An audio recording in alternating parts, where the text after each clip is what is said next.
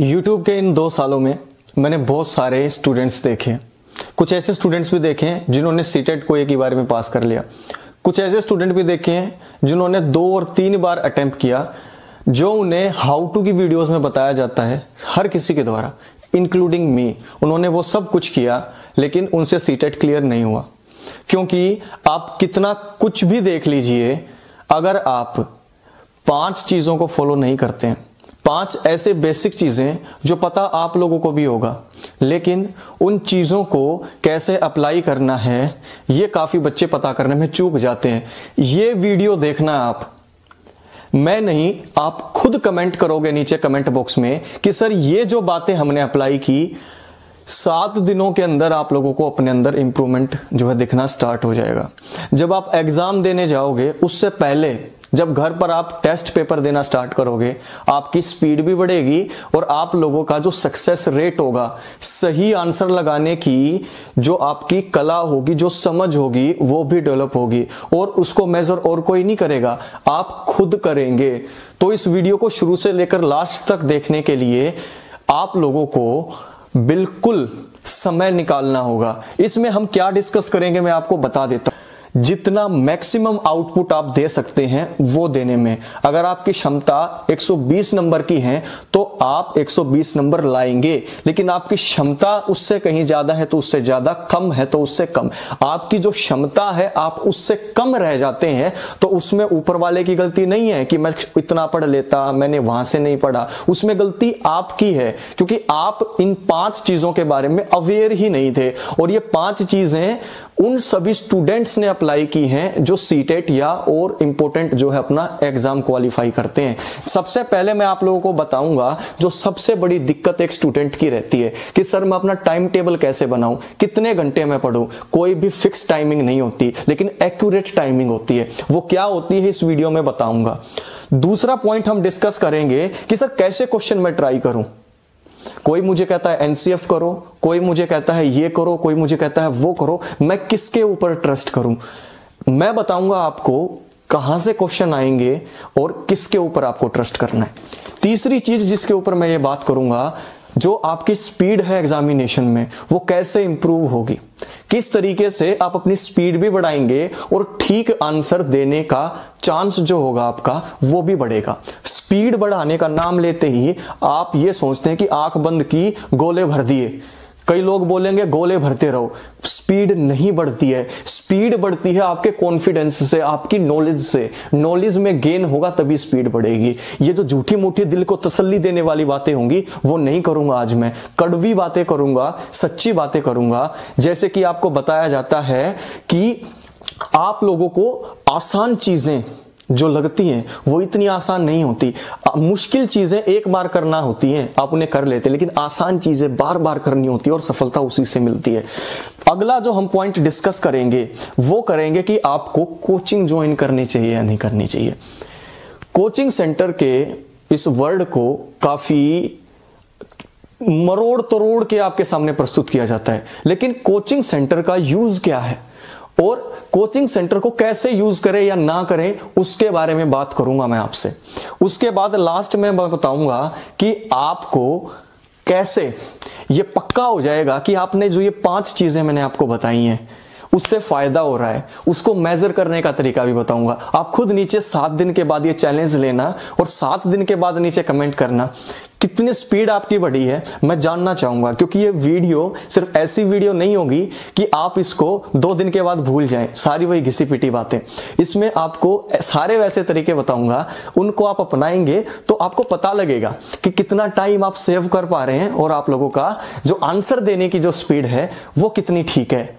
और एक power tip जो हमेशा वीडियो के लास्ट में आप लोगों के लिए कारगर होगा। लेकिन वो पावर टिप तभी काम करेगा जब आप लोगों को इन पाँच चीज़ों का पता हो। तो जल्दी से टाइम निकालिए इस वीडियो के लिए और शुरू से लेकर लास्ट तक देखना। और जब आपके दिल में ये आए कि thank you so much sir तो नीचे एक प्यारा सा कमेंट देने के साथ लाइक बटन और शेयर भी दबना चाहिए। सबसे पहले बात करते हैं टाइम टेबल क्या होनी चाहिए आपकी? जब भी सीटेट का नाम आपके सामने आता है टाइम टेबल हम बनाएँगे। सबसे पहले आप डिसाइड करते हैं कि हम एक मस्त टाइम टेबल बनाएँगे डेली उसको फॉलो करेंगे। लेकिन आपको आइडिया ही नहीं होता कि आपको टाइम टेबल में कितना टाइम किस चीज़ को देना है।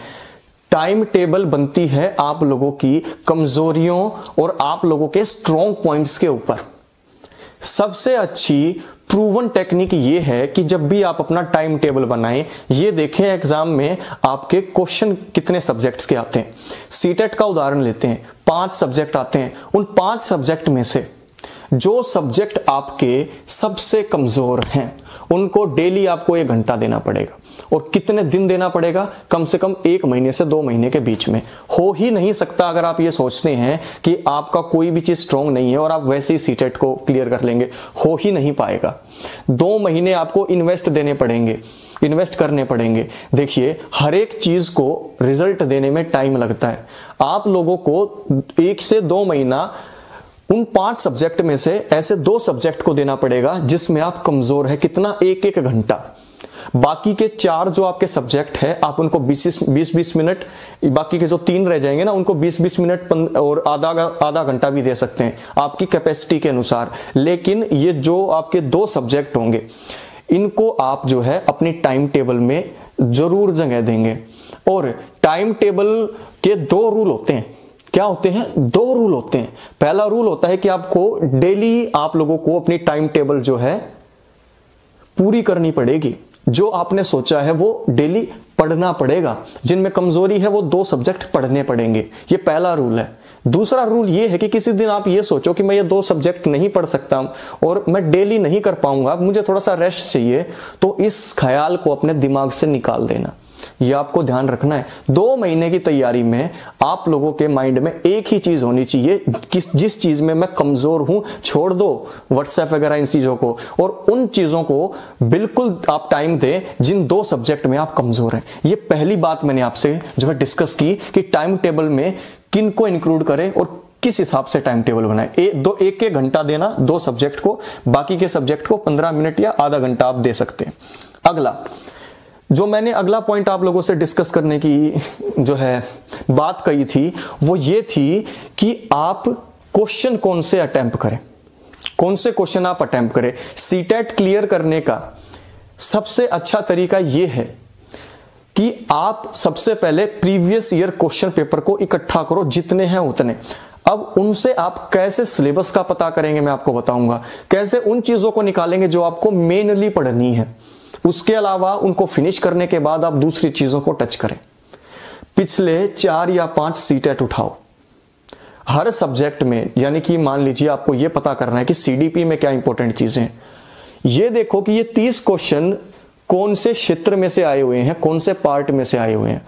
आप लोगों को अगर आप पाँच क्वेश्चन पेपर को भी मैच करेंगे, आधा घंटा लगेगा, ज़्यादा टाइम नहीं लगेगा इसमें। लोग आधा घंटा बचाने के चक्कर में अपने आने वाले दो ढाई महीने और सीटेट के बाद क्या क्या हो सकता था, उनको दाव पर लगा देते हैं। लेकिन आधा घंटा मेहनत करने के उस मूड में नहीं होते।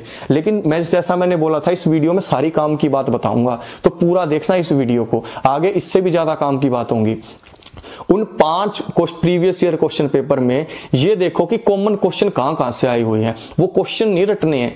जैसे कि समावेशी शिक्षा से मान लो पाँचों बार एग्ज़ाम में आया है तो समावेशी शिक्षा को आप सबसे पहले फिनिश करेंगे। उन सारे टॉपिक्स को लिख लो जहाँ से प्रीवियस ईयर में आप लोगों के एग्ज़ाम में फ्रीक्वेंटली क्वेश्चन आए हैं। उनको पक्के कर लो, साइड में जो बाकी की चीज़ें हैं उनको पक्के कर लो। आप लोग बिल्कुल मार नहीं खाओगे। और ऐसा तरीका ज़्यादातर आप उन टॉपिक्स में लगाओ जिनमें आप थोड़े से कमज़ोर हैं। ताकि आप लोगों के पास कुछ तो ऐसे टॉपिक हो जो आप करके जाएँ और वही एग्ज़ाम में आए। तो ये तरीका होता है किसी भी सब्जेक्ट के क्या चीज़ें आएँगी, क्या नहीं आएँगी, उनका अंदाज़ा लगाने का। तो दो चीज़ों के बारे में बात कर चुके हैं कि टाइम टेबल कैसे आप जो है उसमें डिसाइड करेंगे कौन से सब्जेक्ट का कौन सा टाइम हो। और दूसरी हम डिसाइड कर चुके हैं कि आप क्वेश्चन कौन से आएँगे, उनको कैसे पता करेंगे। अब तीसरी बात कोचिंग सेंटर ज्वाइन करना चाहिए या नहीं करना चाहिए? अगर आप मुझसे स्पष्ट शब्दों में पूछो तो मैं आपको हमेशा यह कहूँगा कि कोचिंग सेंटर में जाना बिल्कुल भी गलत नहीं है। कोचिंग सेंटर में अगर आप जा सकते हैं, बिल्कुल जाइए। लेकिन ये कहना कि कोचिंग सेंटर में आप ना जाएँ और ना पढ़े, फिर भी क्लियर कर लोगे, नहीं हो सकता। पढ़ना आपको ही पड़ेगा। तो कोचिंग सेंटर में आप जा पाते हैं तो वेल एंड गुड। अगर नहीं जा पाते हैं, फिर भी आप क्लियर कर सकते हैं। आप कोचिंग सेंटर में और जो आपका ऑनलाइन कोचिंग होती है, उसमें फ़र्क इतना ही होता है कि आप अपने टीचर से खुलकर जो है, क्वेश्चन बाय फेस पूछ सकते हैं। ये बेनिफिट होता है उसका। तो जो ये सोच रहे हैं कि मैं कोचिंग सेंटर में मैंने एडमिशन ले लिया तो अब पक्का है तो बिना पढ़े कोचिंग सेंटर वालों का भी नहीं होता, बिना पढ़े ऑनलाइन वालों का भी नहीं होता। तो इस मिथ को दिमाग से निकाल दीजिए, ये पर्सन टू पर्सन डिपेंड करता है कि उसकी तैयारी कितनी है और उसे कोचिंग में जाना चाहिए या नहीं जाना चाहिए। तो आप खुद इस बात को डिसाइड करेंगे, दूसरों के बहकावे में ना आए। हर एक चीज़ अच्छी होती है तो बिल्कुल क्रिटिसाइज आपको नहीं करना है ऑफलाइन कोचिंग को। उसके बाद जो फोर्थ पॉइंट है, उसको समझने के लिए आप लोगों को थोड़ा सा ध्यान लगाना पड़ेगा, क्योंकि ये फोर्थ पॉइंट आप लोगों से डिस्कस करता है आपकी स्पीड के बारे में। आप अगर स्टूडेंट से पूछेंगे जिनका क्लियर नहीं होता, वो आपको एक चीज़ क्लियर बताएँगे कि, सर, मेरी स्पीड थोड़ी सी कम है। मान लीजिए मैथमेटिक्स किसी का कमज़ोर है तो मैथमेटिक्स में इतना टाइम लगा दिया, जो चीज़ें आती थी उसको अटेम्प्ट नहीं किया। या आधे दिमाग से अटेम्प्ट किया क्योंकि टाइम इतना नहीं था। तो जब आप लोगों की स्पीड जो है, उसको आप कैसे मेजर करेंगे, कैसे बढ़ाएँगे, उसको भी मैं आप लोगों से डिस्कस कर लेता हूँ। देखिए, सबसे पहला तरीका होता है कि आप अंधाधुंध जो है गोले नहीं भरेंगे। आप टाइमर लगाएँगे और डेली क्वेश्चन अटेम्प्ट करना स्टार्ट करेंगे। अब कई बच्चे ऐसे होंगे जो पहले दिन ही 150 मिनट का टाइमर लगा लेंगे और सोचेंगे कि आज तो मैं 150 मिनट जो है पूरी करके ही उठूँगा। फिर एक महीना नहीं पढ़ेंगे वो और ना एक महीना टाइमर लगाएँगे। जितनी आपकी हैसियत है, उसके हिसाब से मान लीजिए आपने ये सोचा कि मैं 20 क्वेश्चन करूँगी तो आप क्या करें? 20 मिनट का टाइमर लगा लो और जो इस टाइमर से बचना चाहते हैं बैक टू स्कूल की ऐप इंस्टॉल कर लो। हर सब्जेक्ट के सीटेट से रिलेटेड मॉक टेस्ट डालता हूँ। कोई 30 मिनट का, कोई 20 मिनट का, कोई 10 मिनट का। एक क्वेश्चन के लिए एक मिनट मिलता है। स्पीड आपकी इंक्रीज होगी। तो सबसे पहला तरीका जो स्पीड इंक्रीज करने का है, वो ये है कि आपको क्वेश्चन अटेम्प्ट करने पड़ेंगे। ठीक है? जो कि आपके मॉक टेस्ट के हो सकते हैं। और मॉक टेस्ट में कौन से क्वेश्चन अटेम्प्ट करोगे? जैसा मैंने बताया, पाँच प्रीवियस ईयर क्वेश्चन पेपर उठा के देखो। जिन सब्जेक्ट में से आ रहे हैं, उन सब्जेक्ट के क्वेश्चन लगा डालो। ऐसे ही आपके नंबर आएँगे। और आप मुझे थैंक्स बोलोगे सर कि ये पहली वीडियो हमने ऐसी देखी है, जिसमें पूरे YouTube पर कोई बकवास नहीं और सारी अच्छी बात की गई है। बाकी मैंने नहीं देखी और भी वीडियोस हो जिनमें मुझसे भी अच्छी बात की गई हो तो बहुत अच्छी बात है, लेकिन मैंने नहीं देखी है। कई लोग इस पर सवाल उठाएँगे कि आपने पूरे YouTube का नाम कैसे ले दिया। तो उनको मैं ये बता रहा हूँ। दूसरा है इंप्रूव योर कैलकुलेशन आपको अगर समय कम लगाना है, आपको ये चाहिए कि हम सीटेट में अच्छा परफॉर्म करें और समय भी अपना बचा लें तो इसके लिए आपको कैलकुलेशन तेज करनी पड़ेगी, खास करके मैथमेटिक्स में। क्योंकि मैथमेटिक्स ही एक ऐसा सब्जेक्ट है जो आप लोगों का टाइम कंज्यूम कर लेता है। और खास दूसरा इंग्लिश ऐसा होता है। लेकिन मैथमेटिक्स की आप अपनी कैलकुलेशन तेज कीजिए। उससे क्या होगा, आप देखेंगे कि आपके पास बहुत सारा टाइम एक्स्ट्रा बचेगा। तो कैलकुलेशन आप अपनी तेज कीजिएगा। उसके बाद आपको अपना स्ट्रेस लेवल डाउन लाना पड़ेगा। स्पीड कम होने का सबसे मुख्य कारण क्या होता है? कि आपके जो स्ट्रेस लेवल हो जाता है, वो बढ़ जाता है। बिल्कुल फ्रैंक होकर आपसे बात कर रहा हूँ। आप एग्ज़ाम में गए, बिल्कुल ठीक रहते हैं। नर्वसनेस जो होती है आपकी कंट्रोल में रहती है। लेकिन जैसे ही आप एग्जामिनेशन की सीट पर बैठ गए नर्वसनेस हाई हो जाती है। और हद तो तब हो जाती है जब आप लोगों को एक पेज पर दो या तीन क्वेश्चन ऐसे दिख जाए जो आपको आते नहीं हो। फिर आप क्या करते हैं? पैनिक करने लग जाते हैं। फिर पैनिक जैसे ही आप कर गए तो दुख मनाने लग जाते हैं और उसी में चार पाँच मिनट निकल जाते हैं आपके। सबसे पहले आप लोगों को पैनिक नहीं होना। अब मुझसे कई स्टूडेंट पूछते हैं कि, सर, पैनिक कैसे नहीं हो? कोई आइडिया नहीं है, कोई मोटिवेशन नहीं है। मोटिवेशन दो दिन चलेगी, भूल जाओगे। इस वीडियो में मोटिवेट तो कर दूँगा मैं अभी। आप सोचोगे कि नहीं नर्वस नहीं होना है, लेकिन फ़ायदा नहीं है उसका। वो मोटिवेशन हटेगी कैसे? स्पीड तेज करनी है तो आपको क्या करना पड़ेगा? प्रैक्टिस ही करनी पड़ेगी।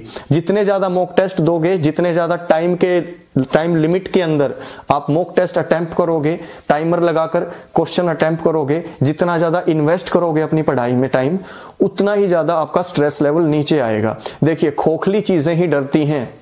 अगर आपकी तैयारी है, जो चीज़ एग्ज़ाम में आएगी, उसके बारे में आपको अंदाज़ा है, आप वेट करोगे कि एग्ज़ाम आए, मैं इसको क्लियर करूँ और अगले एग्ज़ाम की तैयारी करो। तो स्ट्रेस लेवल तभी कम होगा जब आपकी तैयारी होगी और आपकी तैयारी होगी तभी आपका टाइम कम लगेगा। तो इंक्रीज योर टाइम में जो चीज़ें मैंने आपको बताई, उनको दोबारा से सुन लीजिए। पहली चीज़ मैंने बताई थी, जितने ज़्यादा क्वेश्चन टाइमर लगा के हो सके कर लो। जहाँ पर भी ऐप आपको मिलती है, जैसे बैक टू स्कूल ऐप वहाँ पर मॉक टेस्ट दीजिए टाइम के अंदर। दूसरा मैंने आपको बताया था कि आप अपना स्ट्रेस लेवल नीचे करें और स्ट्रेस लेवल वो नीचे कब होगा एग्ज़ाम में जब आप तैयारी करेंगे? तो ऑब्वियसली आपकी स्पीड भी इंक्रीज हुई मिलेगी इससे। अब पांचवा आप लोगों का जो है पॉइंट जो कि मोस्ट इंपॉर्टेंट था, जैसे मैंने बताया था कि पावर टिप वो पांचवा पॉइंट है।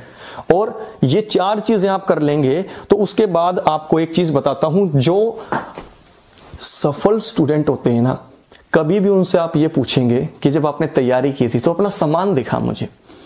तो वो आपको अपने हैंड रिटन नोट्स ज़रूर दिखाएगा। ऐसा हो ही नहीं सकता, कोई स्टूडेंट आपको ये बोले कि मैंने ये एग्ज़ाम क्लियर किया, या मेरी तैयारी इतनी अच्छी थी और मैंने कहीं से नोट्स खरीदे, या मैंने किसी एक बुक से पढ़ा, मेरा हो गया। देखिए पास हो सकते हैं आप, लेकिन श्योरिटी चाहिए तो you have to write down the things अब आप मुझसे पूछोगे, सर, कि कौन कौन सी चीज़ें राइट डाउन करें और कैसे लिखें ज़्यादा? देखिए, लिखना आपको पड़ेगा। अगर आप लिखते नहीं हैं और आप एक स्टूडेंट हैं तो यकीन मानिए बहुत बड़े वहम में हैं आप। आप बोलेंगे, सर, मैं तो पास कर लेता हूँ बिना लिखे। जिस दिन लिखने लग जाओगे ना, अपने आप को कोसोगे? कि मेरी पोटेंशियल इतनी ज़्यादा थी, लेकिन मैंने कभी उसको यूज़ नहीं किया। तो मेरी बात मानो, लिखना ज़रूर है। अब लिखना क्या क्या मैं आपको बताता हूँ। एक चीज़ को बार बार नहीं लिखना आपको, लिखने की भी चीज़ें होती हैं इंपॉर्टेंट पहली चीज़ होती है, आपको अपना डेली टारगेट लिखना पड़ेगा। डेली टारगेट क्या होगा, मैं आपको बता देता हूँ। डेली टारगेट होगा कि एक घंटा आप किन चीज़ों को देंगे। जैसा मैंने पहले पॉइंट में आपसे डिस्कस किया था कि जिन दो सब्जेक्ट में कमज़ोर हो, उनको एक एक घंटा दो। नोट डाउन करो। आदमी सबसे पहले उठो ना, पाँच मिनट इन्वेस्ट करना इस चीज़ में। एक पेज लिया मेरे कहने से। उस पर पाँच सब्जेक्ट, पाँच चीज़ लिख दो कि आज मुझे पहले ये टॉपिक करना है, फिर ये फिर ये फिर ये। तो उससे आप क्या करेंगे? उन चीज़ों को जो है अचीव करेंगे। तो आप चीज़ों को लिखे पाँच मिनट उठकर पहले और उसके हिसाब से अपनी तैयारी करें। उसके बाद दूसरा ये है कि जब आप अपने डेली गोल्स को अचीव कर लेंगे, उसके बाद आप जो नोट्स बनाना चालू करें, वो नोट्स आप कहाँ से बनाएँ? देखिए, जैसा मैंने कहा था प्रीवियस ईयर से आपको हिंट भी मिल जाएगा कि क्या क्या चीज़ें आती हैं। उन चीज़ों को आप ढूंढना स्टार्ट कीजिए। अच्छे अच्छे आर्टिकल आपको मिलेंगे। आर्टिकल से लीजिए आप चीज़। आर्टिकल के अलावा कहीं से आप वीडियो देख रहे हैं और आपको लगता है कि आपके बहुत अच्छी वीडियो हो रही है, आपके सिलेबस में है और बिल्कुल करंट ऐसी चीज़ है कि आपके एग्ज़ाम्स में पूछी जाती है तो वहाँ से नोट्स बनाइए वीडियोस मिले, आप लोगों को अलग अलग जो ब्लॉग मिले ऑनलाइन मटेरियल मिले, या ऑफलाइन भी आप किसी से पढ़ते हो तो हमेशा आप नोट बनाकर चलिए, क्योंकि वो नोट्स ही क्या करेंगे? वो नोट्स ही आप लोगों को लास्ट में मदद करेंगे। देखिए, पढ़ने को तो बुक भी पढ़ सकते हैं, लेकिन लास्ट टाइम पर जब आपको एक नज़र मारनी पड़ेगी तो आपको डेढ़ पन्ने नहीं पलटने पड़ेंगे। आपकी जो वो एक अच्छी जो आपने नोट्स बनाए होंगे, उनको ही आपको एक बार गो थ्रू करना पड़ेगा। और उसके बाद आप आपकी आपकी इंप्रूवमेंट को ज़रूर ट्रैक करें। क्योंकि जब तक आप ट्रैक नहीं करेंगे किसी भी चीज़ को तो कोई फ़ायदा ही नहीं है किसी भी चीज़ को करना। आपने मान लीजिए दौड़ना स्टार्ट किया। आप रनिंग नहीं करते थे वेट लॉस करना चाहते हैं। पहली चीज़ क्या करते हैं? डेली आप मशीन पर चढ़ते हैं और दौड़ लगाने के बाद डेली मशीन पर दोबारा आकर खड़े हो जाते हैं। क्या देखने के लिए कि मैंने आज कितना ट्रैक किया? कितना लूज किया वज़न मैंने? ऐसे ही तैयारी करते वक्त होता है। डेली पढ़े, जो मैंने पाँच चीज़ें आपको बताई, उन पाँच चीज़ों को एक हफ़्ते तक जो है डेली ट्राई करें। फिर उसके बाद आप नीचे कमेंट करना कि आपको कितना फ़ायदा हुआ। क्या क्या पाँच चीज़ें करें? सबसे पहले दो सब्जेक्ट को एक एक घंटा, दो बाकी को आधा आधा घंटा। उसके बाद आप क्या करें? प्रीवियस ईयर पाँच साल के उठाओ इंपॉर्टेंट टॉपिक निकाल लो हर सब्जेक्ट के। कोचिंग सेंटर जाते हो, नहीं जाते हो, कोई पंगा नहीं है क्लियर कर दिया मैंने। उसके बाद अपनी स्पीड को मेजर करो और स्पीड कम है तो इंप्रूव कैसे करोगे? उसका तरीका भी साथ बताया था। क्वेश्चन करो टाइमर लगा के कैलकुलेशन तेज करो, उसके बाद स्ट्रेस लेवल नीचे लाओ, वो आएगा जब आप ऊपर के सारे काम करेंगे। तो यहाँ तक मामला क्लियर हो जाएगा। उसके बाद डेली आप अपने टारगेट लिखें, जो चीज़ें आपको पढ़नी है, उनको टिक मार्क लगाते जाएँ और सात दिन के बाद आप ये देखें कि जिस टेस्ट सीरीज़ को जिस प्रकार के क्वेश्चंस को आप पहले दिन जितने टाइम में कर पा रहे थे, पहली चीज़ आप ये पहले दिन अगर करने लगो ना तो पहले दिन दो चीज़ों का हिसाब रखना। पहली चीज़ का हिसाब रखना कि आपने, मान लीजिए, पचास क्वेश्चन किए। सीडीपी के और आप, आप उन्हीं को एक घंटा दे रहे हैं सीडीपी को। तो आप ये देखेंगे कि आपने एक घंटे के अंदर कितने क्वेश्चन किए और उसमें से कितने क्वेश्चन ठीक थे। सात दिन लगातार ये फॉर्मूला आप यूज़ करना उसके बाद सातवें या आठवें दिन आप दोबारा से उस तरीके के 50 क्वेश्चन को जो है अटेम्प्ट करके देखना। बहुत समय कम लगेगा और आप लोगों का राइट आंसर देने का जो रेशियो था वो भी इंप्रूव होगा। तो दोस्तों इन पाँच चीज़ों को आप ज़रूर अपनी लाइफ में आजमाएँ बहुत आपको फ़ायदा होगा। और गुरु दक्षिणा सिर्फ़ इतनी सी है। सात दिन के बाद दोबारा नीचे स्पीड लिखना अपनी। और एक थैंक यू ज़रूर बोलना, जिसको इस वीडियो से फ़ायदा हो। अभी भी सुनने के बाद मोटिवेट हुए हो, चीज़ें समझ में आई हो तो नीचे लाइक का बटन होगा, उसको दबा के नीचे कमेंट करना। और सात दिन के बाद जब आप लोग खुद इसे फील कर लें, तब कैपिटल लेटर्स में लिखना कि सर आप बिल्कुल ठीक कह रहे थे। तो सीटेट में आप लोगों की मदद के लिए मैं हमेशा हाजिर हूँ। ऐसी अमेजिंग वीडियोस आती रहेंगी। और दोस्तों तक इस वीडियो को फैला दो कि कैसे सीटेट में इन सात चीज़ों को आप अगर याद रखेंगे तो आप सफलता पा सकते हैं। पाँच चीज़ जो आपको बताई थी और दो चीज़ क्या? पढ़ते ज़रूर। रहना है हमेशा। और कभी गिव अप नहीं करना है। तो ये चीज़ें आप लोगों की हेल्प करेंगी। अगली वीडियो में आपसे मुलाकात करता हूँ। तब तक के लिए जय हिंद, जय भारत एंड पढ़ते ज़रूर रहना है और कमेंट भी करते रहना है। नीचे कमेंट में अपना कोई भी क्वेश्चन ना डालिए। मेरी नज़र आपके कमेंट्स पर है। ज़रूर रिप्लाई करूँगा। और फैला दो इसको आग की तरह। व्हाट्सएप पर फेसबुक पर और जो भी नेटवर्किंग साइट आप यूज़ करते हैं। इंस्टाग्राम सहित थैंक यू